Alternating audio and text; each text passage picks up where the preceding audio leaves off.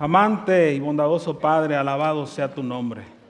Gracias por tu amor y tu misericordia que se extiende a nuestras vidas para ayudarnos a estar no solo cerca de ti, sino también a vivir vidas transformadas.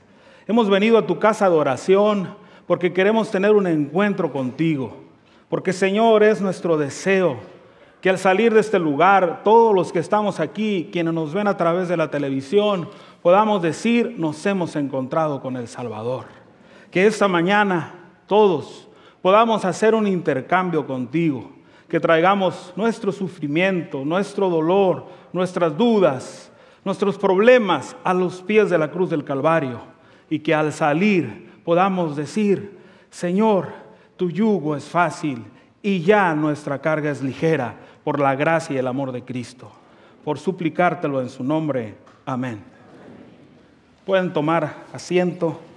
Qué bendición estar en la casa del Señor, como lo dijo el pastor López Luna.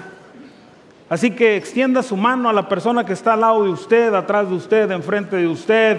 Dígale bienvenido a la casa del Señor. Que podamos juntos gozarnos en Él y de igual manera los que nos ven por televisión puedan conectarse con nosotros a través del estudio de la palabra.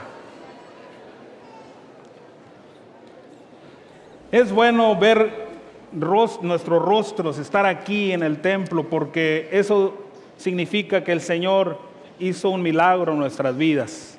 Nos cuidó durante la semana, proveyó para nuestras necesidades y pues estamos aquí agradeciendo a nuestro Dios por su amor, por sus cuidados, por todo lo que es Él. Vamos a escuchar en este momento un canto de alabanza. Eh, nuestros niños y jóvenes del coro de Canticum han preparado esta alabanza. Vamos a escucharla, vamos a conectarnos con nuestro Dios a través de este hermoso, hermoso canto, esta hermosa alabanza.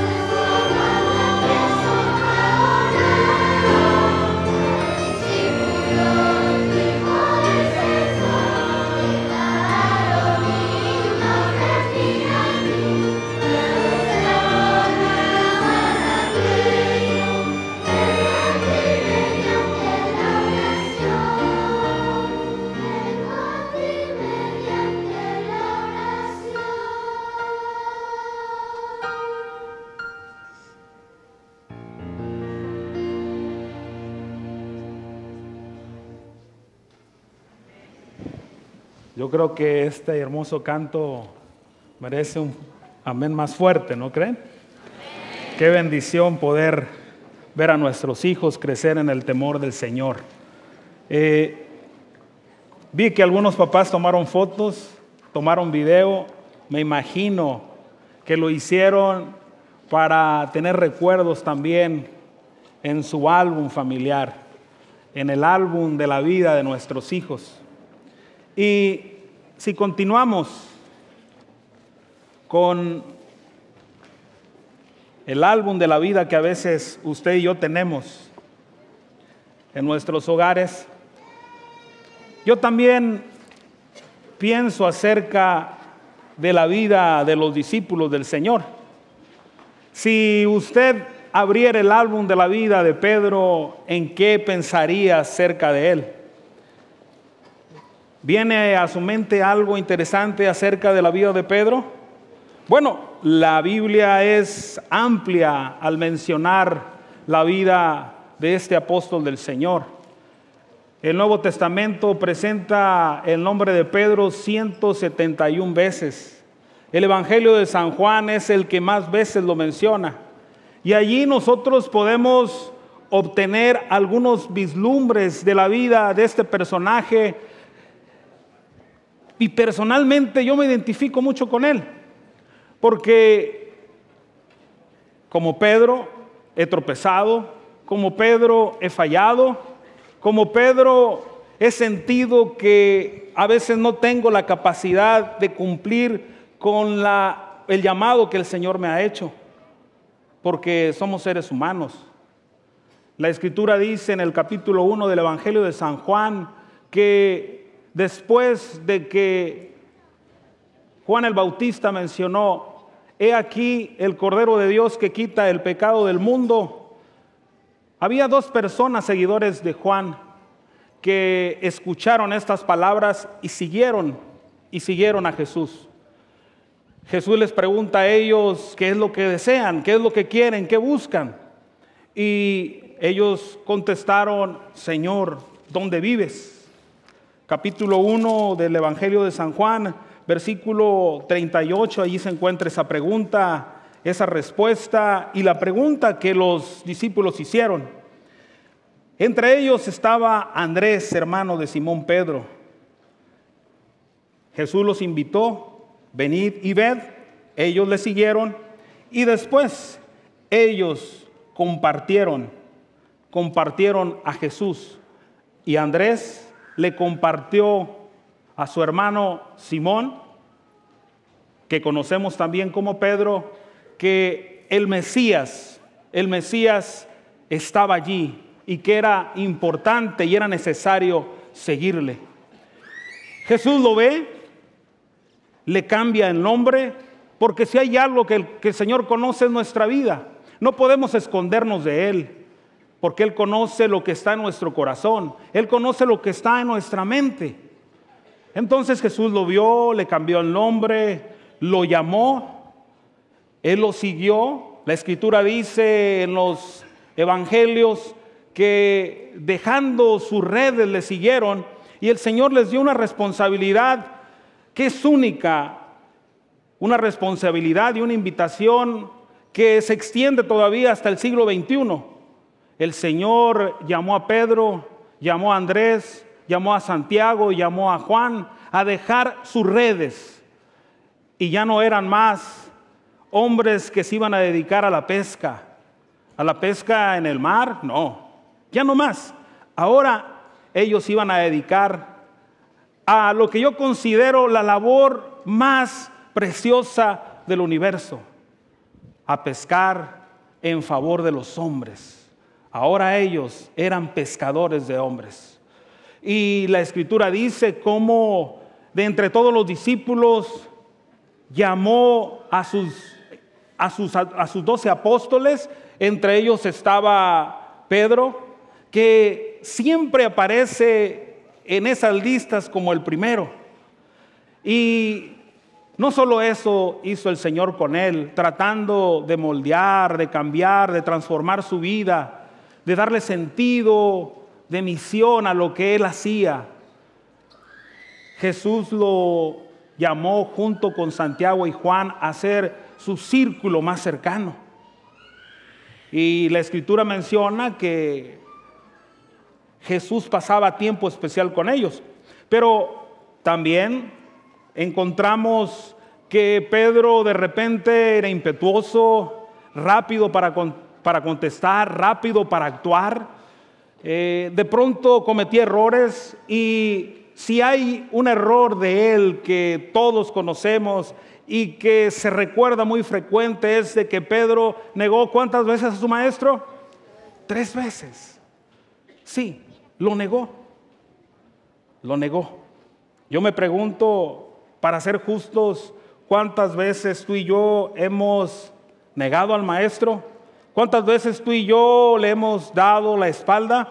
¿Cuántas veces tú y yo hemos ignorado su palabra, su invitación, incluso sus cuidados. Ese es uno de los desafíos del ser humano. Porque a veces pensamos que el desafío más grande puede ser el dinero, a veces pensamos que el, desafío más grande puede ser la salud, puede ser el trabajo, pero el desafío más grande que enfrenta usted, que enfrento yo, es dejar de hacer mi voluntad y permitir que el Señor actúe en mi vida. Y es entonces que aparece el capítulo 21 del Evangelio de Juan.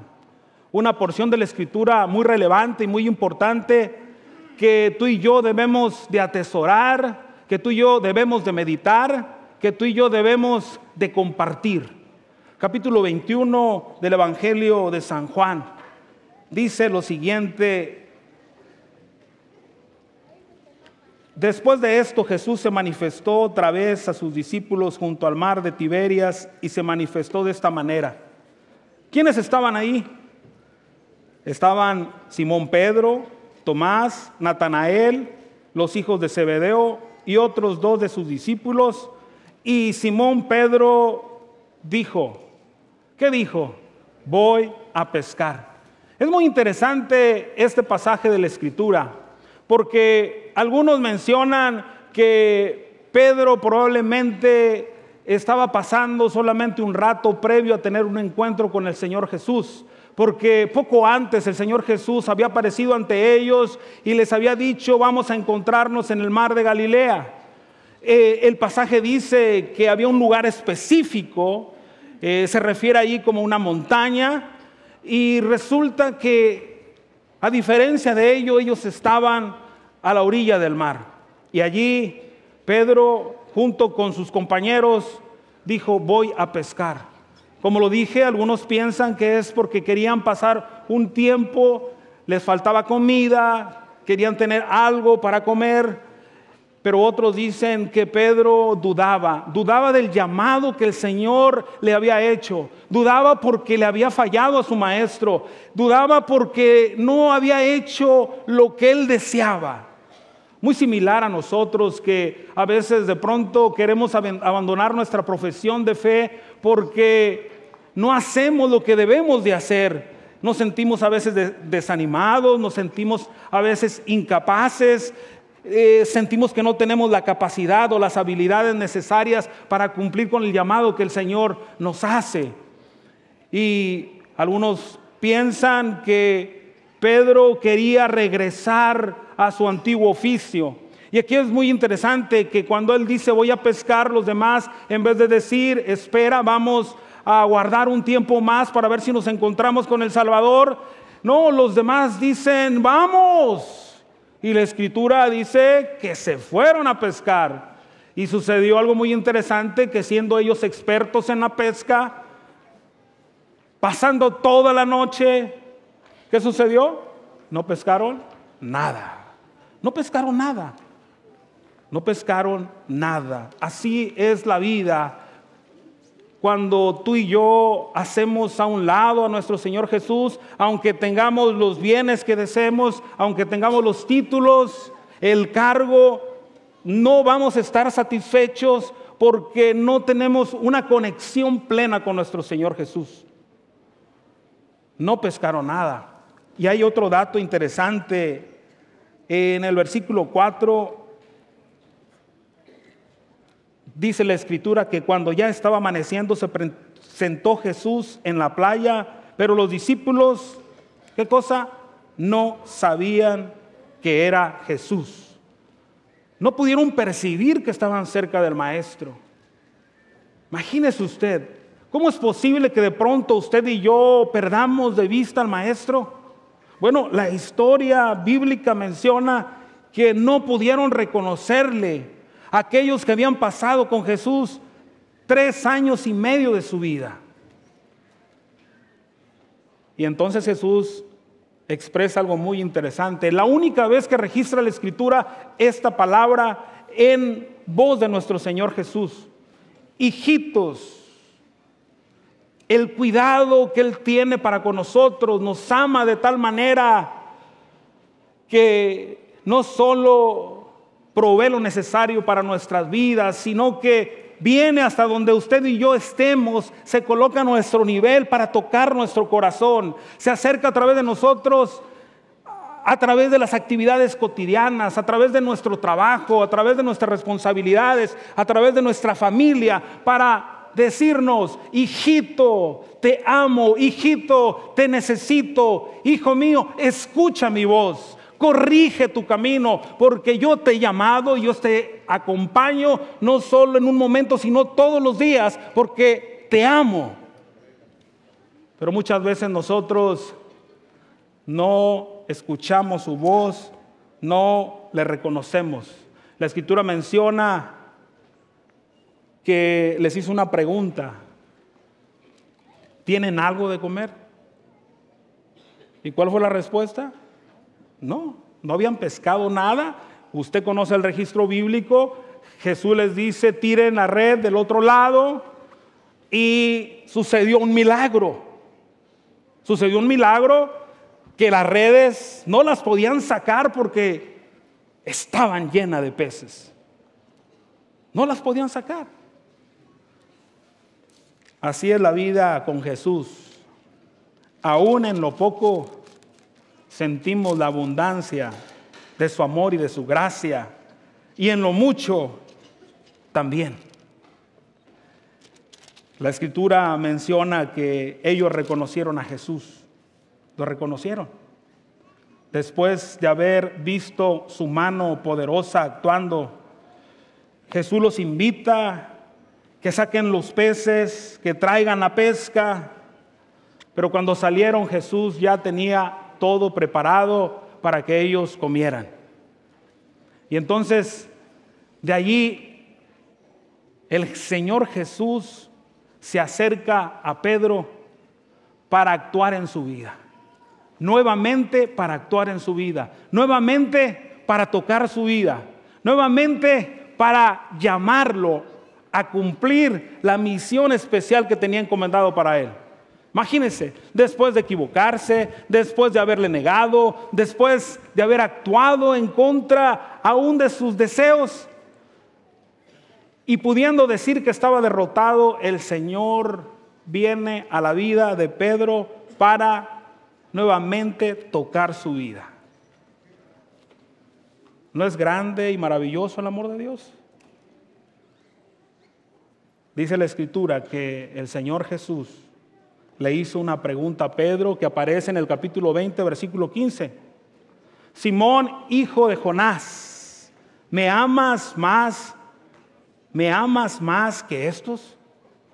¿Se da cuenta cómo el Señor nos recuerda de muchas maneras de su amor? Yo no sé los que vieron las fotos de la historia de los niños, yo no sé si ustedes también recordaron en algún momento cómo su papá, cómo su mamá los abrazó y a lo mejor algunos de ustedes tienen sus fotos o algunas fotos de recuerdo y cuando usted ve esas fotos se traslada 20, 30, 40 años atrás y recuerda lo maravilloso que fueron sus padres, lo maravilloso que fueron sus hermanos, los momentos tan agradables donde el amor, la convivencia, sobreabundaba y le dio sentido a su vida? Me imagino que sí. Me imagino que sí. Y muchas veces al ver esas fotos, al ver esos recuerdos, reafirma nuestro compromiso con Dios y nos recuerda de su amor y de su gracia que se extiende en nuestras vidas. Y eso nos ayuda y nos motiva a redirigir nuestros pasos, a volver a andar por las sendas antiguas y a continuar con la misión que el Señor nos ha dado. Porque es el amor que mueve todo. Lo dice la Escritura, que con el amor podemos olvidar el pasado de errores, podemos olvidar envidias, podemos olvidar el egoísmo, podemos hacer un lado el rencor, porque cuando el amor llega a nuestras vidas, lo cura todo. Cura ese corazón golpeado, maltratado, dañado por las circunstancias de la vida, dañado a veces por las circunstancias de quienes están alrededor nuestro y a veces porque nosotros mismos lo provocamos. ¿Qué puede hacer usted cuando una persona está a punto de abandonar la fe o ha dejado la fe? ¿Qué podemos hacer con una persona que, que se siente incapaz de cumplir el llamado que el Señor ha hecho a sus vidas? Bueno, el amor todo lo puede. ¿Lo creen ustedes, hermanos? Con el amor todo es posible. Si está su esposa al lado de usted, dígale, te amo. Gracias por acompañarme en esta vida. Gracias por lo que me has dado. Perdóname por mis errores. El amor todo lo puede. Y aquel que sentía que había perdido la misión, aquel que sentía que había perdido la brújula, le contesta al Señor en el versículo 15, sí Señor, tú sabes que te quiero. El Señor Jesús le dice, apacienta mis corderos. Nuevamente en el versículo 16, por segunda vez, el Señor le pregunta, Simón, hijo de Jonás, ¿me amas? Pedro le respondió, sí Señor, tú sabes que te quiero. Nuevamente el Señor Jesús le recuerda la misión que Pedro tiene. Pastorea mis ovejas. Versículo 17. Le dijo la tercera vez, Simón, hijo de Jonás, ¿me quieres? Pedro se entristeció de que le dijera por tercera vez, ¿me quieres? Y le respondió, Señor, tú sabes, ¿qué cosa? Todo. Tú sabes todo. Tú sabes tú sabes que te quiero. Y Jesús le dijo, ¿qué cosa? Apacienta mis ovejas. ¿Cómo el Señor restituye a sus hijos? ¿Cómo el Señor nos recuerda que nos ama? ¿Cómo el Señor extiende su mano para levantarnos? ¿Cómo el Señor nos abraza para no dejarnos ir. Como el Señor prepara todo con anticipación. ¿Para qué? Para que tú y yo lleguemos a ser lo que Él desea, que seamos a través del poder de su gracia. Queridos hermanos, queridos amigos, el Señor te ama de tal manera que ha dado a su Hijo unigénito para que todo aquel que en Él cree no se pierda, mas tenga vida eterna.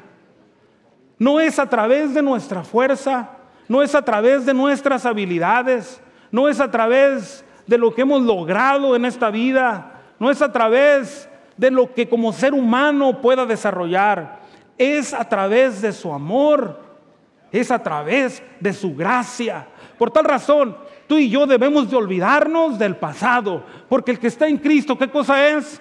Nueva criatura es. Las cosas viejas pasaron. He aquí, todas son hechas nuevas.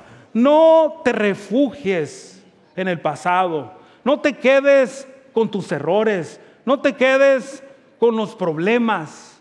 Si hay que perdonar, perdona.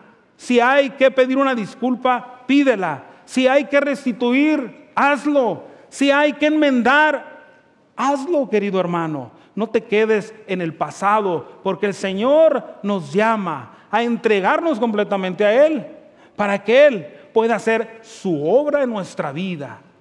Porque el llamado que Él te hizo a ti es para ti. Nadie puede ocupar tu lugar. Y si nadie puede ocupar tu lugar, es porque tú tienes algo que hacer en el pueblo de Dios, algo que cumplir en la misión que nos ha dado, porque Él ha preparado todo, no solo para esta tierra, sino también para la tierra venidera.